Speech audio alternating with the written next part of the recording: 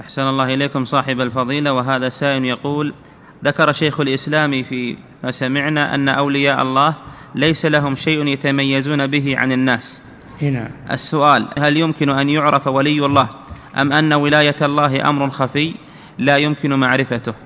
أمر خفي ولاية الله أمر خفي لأن بين العبد وبين ربه لكن قد يعرف بعلامات في كونه محافظا على طاعة الله مبتعدا.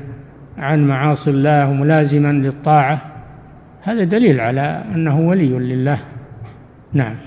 ولا نجزم نحن لا نجزم لأحد بولاية إلا بدليل لكننا نرجو للمحسنين ونخاف على المسيئين وإلا فنحن لا نزكي على الله أحدا ولا نقول هذا ولي لله إنما تقول أحسبه والله حسيبه أحسبه كذا. نعم. إعداد مشروع كبار العلماء بالكويت أعزها الله بالتوحيد والسنة.